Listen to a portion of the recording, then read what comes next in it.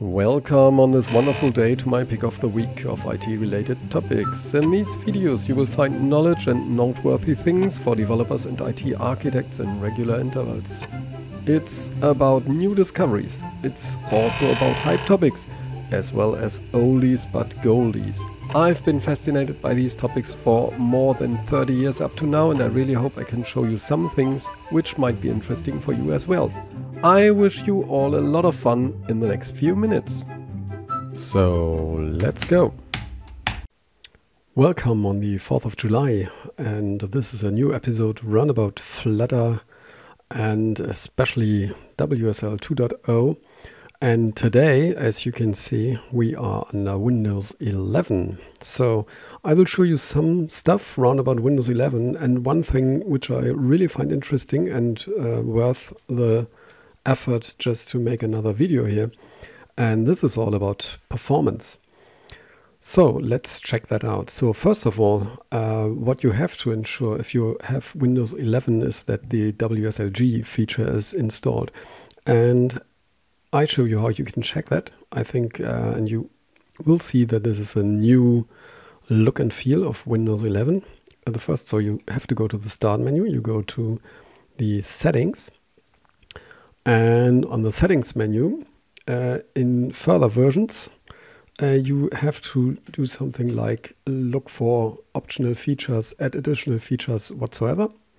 You still have the possibility here but this is not the way, way where you can find it. Now it's under apps. And under apps, you have apps and features. And I think that's quite great. So they put all the apps and features stuff um, into one list.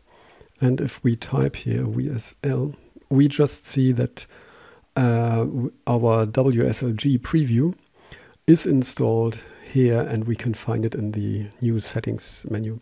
And as you can see here, it's 1.0.24, so nothing has changed there. Um, from time to time, you should take a look at the website itself so that you can uh, check if the WSLG preview is uh, the one which is uh, the uh, actual one. So, okay, um, so far so good. Okay, first of all, let's just check out the version.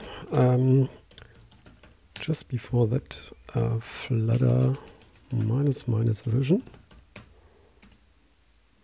Yeah, right. So it's 2.3 and it's the Dart version is 2.13.4. I just check that out here under Windows. So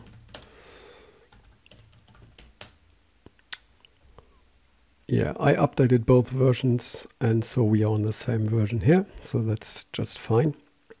And well, um, as I promised, I just want to do um, a speed comparison because I think that's quite interesting now if we compare the speed under WSL and under Windows itself. So let's check that out. So uh, first of all, uh, I will do the following. I just switch to my home directory. I go to dev, I go to Flutter. I have here these demo applications. So that, but uh, let's make it that way. I just create another demo application so that we really see that this is done from scratch. Um, right, that took about two seconds. Hmm, I mean, that doesn't mean that much. So we created this demo application here. I think you're all familiar with that one. And uh, I start the emulator. If you are unsure what I'm doing here and how this is installed, just take a look at my other video. So this is absolutely the same for Windows 11 and the Windows 10 preview. Um, I installed three emulators here uh, under the Linux subsystem. And what I do now is uh, I do the launch for this, let's say for that one here. I think I always, it's not flutters, it's flutter. Right. And then we start the emulator. That that took a while, and you might think, uh, why does it take that much time? The reason is that the uh, X uh, server, the Wayland server starting in the background. Also, if you start, for example, an X clock, um, it just takes a bit of a time at the first time. If I do now start X clock, for example, it's it's just immediately there. Um, ah, one one interesting comment here from my side. So if you if you just look at Windows um, 11, you all have these round corners here. So this is uh, I don't know how you call that, but but I think the UI experts would say that this is the the language, the, the design language or whatsoever. So it's round. If you are annoyed of any round corners anymore, you just start the X11 version. So this is still uh, hasn't all these round corners. Um, just to give you an impression here of what is going on. So, right. Um, I just started the emulator and what we can do now is, or what we should do here is that we run now the demo application here in this emulator. And therefore we just do the following. Um, we just start the application by using flutter run. Okay, I run the Flutter application now. I did that before, so that the first build went away from the video. Just takes one. And we see our, we are about 1.8 seconds. I will repeat that now for some times and show you the results afterwards. I just stop the video here because that's just annoying, just typing Q and do it again and again and again. So just pause that here. Right, so uh, I ran that summer for quite a few times. And so you see the first time was about 2.5 seconds and 1.8, 1.7, 1.5, 1.4. Um, I think you got the idea. It's about round about 1. Dot, let's say 1.7 seconds. Um, and what I want to do now is just doing the hot reload and hot restart. So hot reload, I do that a lot of times. So it's so what we do see here, it's about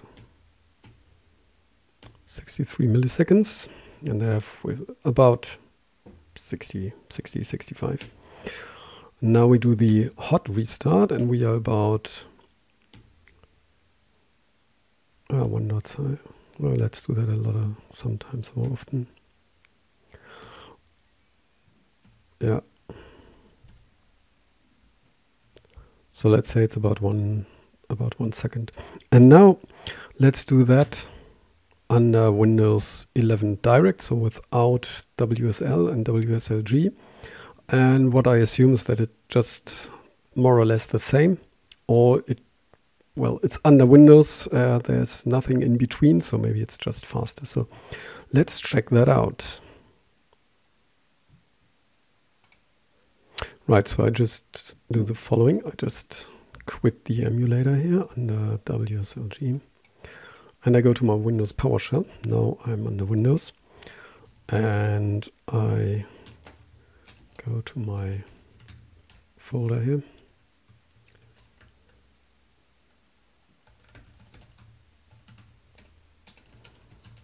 Yeah, a little bit irritated. So I, I think I do exactly the same here. So let's say flutter create demo2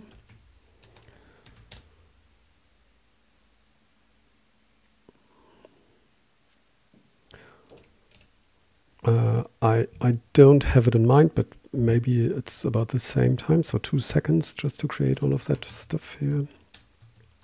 Ah, it's always different here, so this one.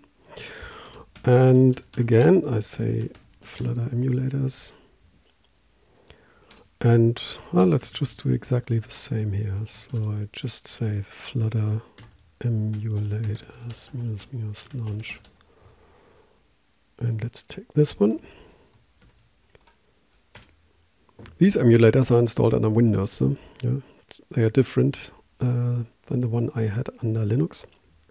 And you see it's starting a little bit faster here. So this point goes to Windows. And now I do the flutter flutter run. And I, again, I stopped, I paused the video now because it just takes a while for the first run and that's not that much interesting, but I will show you the results afterwards. Right, so this was the first run and we see 50 seconds. Okay, um, yeah, that's quite takes some more time than under our WSLG, but uh, never mind, that could occur from time to time, so this is not really um, really a performance testing here. It's it's just to get an impression, but that was not the, as fast as it was under the WSLG. So uh, now I quit it and restart that uh, a couple of times, and I will just come to you back soon. Right, so let's see what we got results here the first one was 5.4 seconds, then 2.7, then 2.5, then 2.5, 2.5.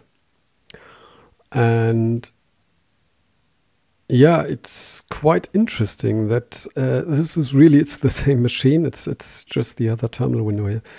Um, and what you can see is that it's really slower than working under WSL. Um, I now do this restart and hot reload stuff. So maybe there's also a difference. Yeah, not much, not that much. So if we do the reload stuff, then we're also about um, 90 milliseconds. And if we are doing the hot restart, then again, we see a difference. So again, we are about 1.5. Ah, this one is, is faster, 1.3. Ah, maybe this is in some some particular cases the same. Um, I have no idea where this comes from, that it's um, especially faster under WSL when we are going to do a full rebuild of the application or doing a rebuild. Uh, what I can assume maybe maybe it comes from the Windows Defender stuff. So the that uh, some of the application is running in background, and of course in the background there's running also my screencast program. So I don't know exactly where this if this might be a reason for that, but it's interesting enough. Um, and what you can say at least the uh, performance under WSL uh, 2.0 under Windows 11 is as fast as it is uh, if you use directly the Windows 11 applications. And this uh, shows me that uh, developing Flutter applications under Windows 11 under WSL uh, is just great. It's just great from a performance uh, perspective. And of course, it's just great under the perspective of the WSLG possibilities to start the emulator here. Um, just take a look at my other video that uh, the biggest mistake from, from my point of view to make it usable uh, has been fixed.